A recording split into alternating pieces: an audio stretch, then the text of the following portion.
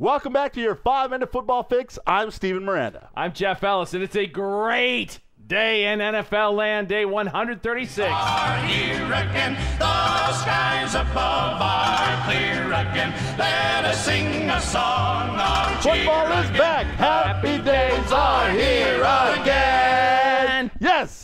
lost my headphones there.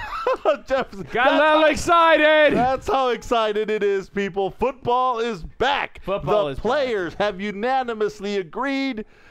32 nothing. Even Raiders players said Even yes. the Raiders, well, the players are always smarter than the owners when it comes to the Oakland Raiders. Sorry, Amy.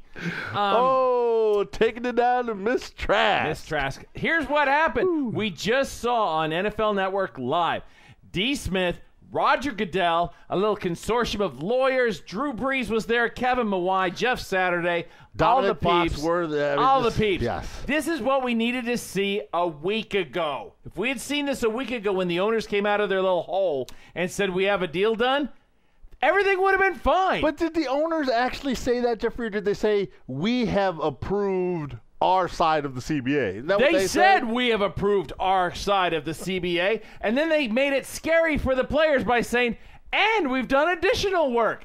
and and the additional work had nothing to do with the players, but the players couldn't know that, Right. and that freaked them out for good reason. Well, here's the biggest thing, and probably the thing that I am most excited about the length of the agreement 10 years with no opt out clause. No opt-out clause. There cannot be labor stoppage until 2020. 21. 2020 would be the last league season. And, uh, Uh, and that is the verbiage. If you remember an article I wrote a year ago, the, the final league Yes, year. the final league That's year. the language that they use in these things. And the final league year now stands at 2020.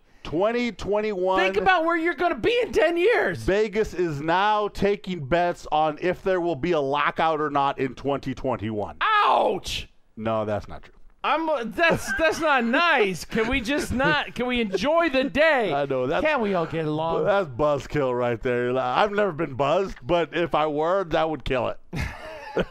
Well, okay, we're not going to get into who's been buzzed and who has been buzzed. However, the new CBA, one of the things that's most critical to the new CBA is the salary cap and the salary Yes. floor. Yes. Yes. And we have a salary cap that is a little less, probably.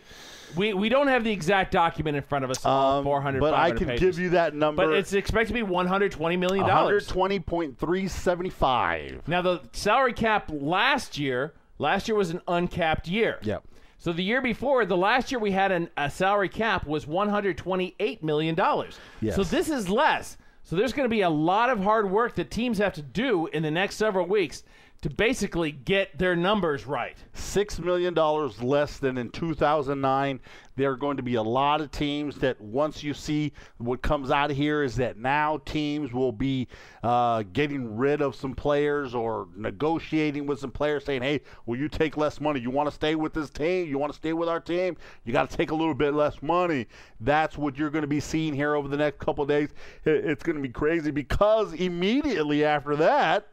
Free agency. Free agency Players are gonna- frenzy. the Nnamdi Asomughas of the world and the Hasselbecks and the Sidney Rices of the world. That Kevin are now Corn on the agents. Uh, what uh, you can expect tomorrow, which is Tuesday, is that the NFL is going to give all 32 teams a list of the free agents, whether they're restricted or not restricted. That list is going to be huge, and it's going to be party time. Party time. P A R T Y, because I gotta.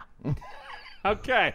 My exciting news is that there's a salary floor. Yes. $108 million is the salary floor. Guess what, Tampa Bay Buccaneers? You can't oh. take all your money and give it to Man United. You, went right you have at to the spend it Tampa on Bay your Bucks. own. You have to spend it on your own players. This is exciting. This means more competition, higher levels of competition. Guys are going to get a little bit more money, and the guys who aren't going to get the more money is the guys who haven't touched a football yet and had a snap in the NFL. Teams must spend at least 89% of the cap from 2013 and 2016, and then from 2017 to 2020. So spend money. I think we need to hear Happy Days are here again. Yes, we do. Because I'm Jeff Ellis. Again, the skies And who are you? I'm Steven Miranda. And this is your five minute football fix. cheer July 25th. Happy days are here again.